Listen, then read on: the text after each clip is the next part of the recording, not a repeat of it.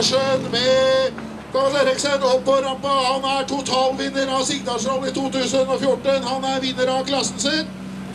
Han skal få champagne, han skal få blomster, han skal få heder og ære. Han skal få masse applaus til Frank Tore Larsen! Thomas Eriksen får første seier i R5! Ja, Frank Tore, hvordan føles det her?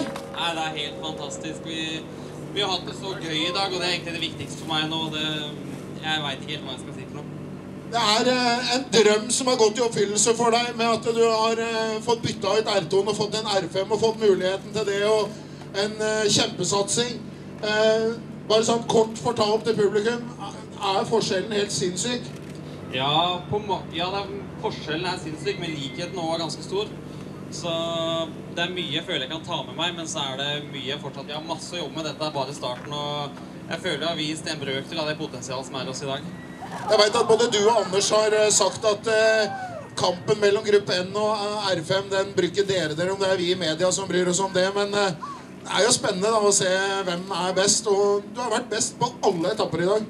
Ja, det er litt overraskende, for jeg trodde ikke vi hadde det tempoet inne ennå. Men eh, jeg tror vi har tatt mye steg bare fra den siste testen og til i dag. Og underveis i dag og spesielt uh, ja, spesielt Lettmlia ned følte jeg fløyt veldig bra før vi fikk den vi trodde vi hadde punktert. Men eh, jeg føler vi har mye å bygge videre på allerede til Mountain, så tror jeg vi kommer til å kjøre enda fortere.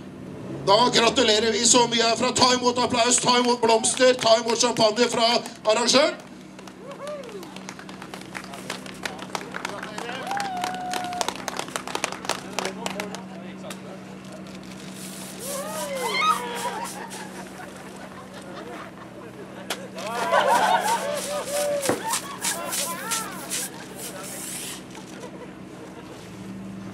Da!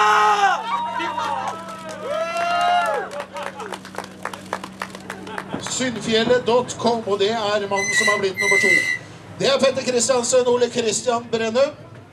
Ut av bilen, Petter Kristiansen. Ja, gi applaus da, folkens. Ja, Petter. Eh, R2 i fjor. Plutselig så ble det et bilbytte her eh, rett før jul. Og da ble det firerstrekk. Og eh, teamsjefen Geir Helge han påstod at eh, han sleit nok litt med overgangen til firerstrekk. Hadde ikke helt, ja, kom nok til å gå litt sånn i begynnelsen, men eh, det har det ikke gjort. Du har slått teamsjefen. Ja, det har eh, gått veldig bra i dag. Vi er eh, veldig overraska sjøl òg. Jeg pleier å bruke lang tid på å venne meg til eh, bil, men eh, det har gått over alle forventninger i dag. Det var noe forbanna dritt at vi skulle få den punkteringa, men ja, sånn er det. Det hadde vel hadde, hadde gjort stor forskjell? Hadde du gått langt opp videre? Ja, Svensson skulle vært svett i nakken i hvert fall. Han skulle fått prøvd seg da. Ja, han skulle få merka det, da. Men ellers, utover den punkteringa som har ødelagt bilen din, der, så har det, har det gått veldig, veldig bra. Det har gått veldig bra. Vi har ikke tatt store sjanser og har flyttet veldig bra. Vi er, vi er kjempefornøyde. Regner med det blir litt testing nå eh, de neste 14 dagene. Ja, så bør vi uten skjerm, og så skal vi teste litt både litt Subaru og litt Skoda og litt, og så da blir det bra. Har du vært med i VM i karosserarbeid, så dette fikser du. Ja, null problem. Gratulerer så mye, Petter Kristiansen, Ole Kristian Brennum, med andreplass.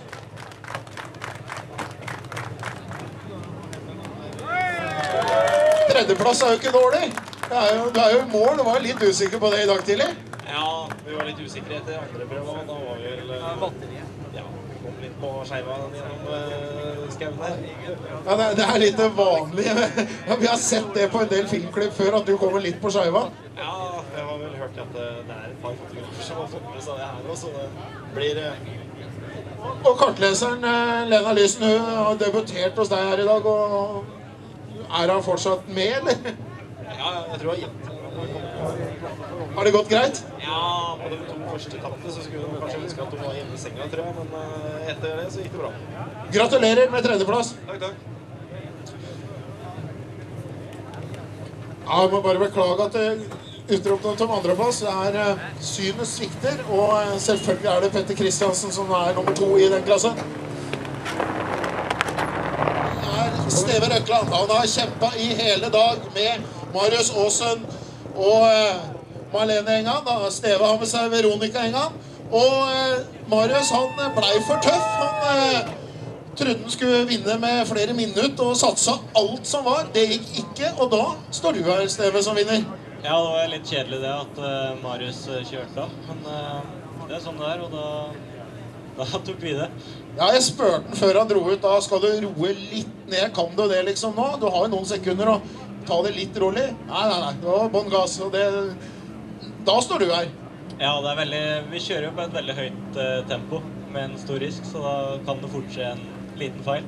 Ja, for Når vi ser på tidene deres i dag og plasseringer på totallista, så går det veldig fort med en tohjulstrekker her. Ja, det gjør det. Så det er kjempegøy å kjempe mot firehjulstrekkere.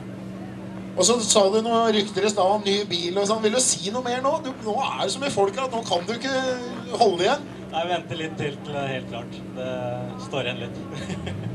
Ta imot hyllesten fra publikum som eh, vinner av R2-klassen. Steven Økland, Veronica Enga.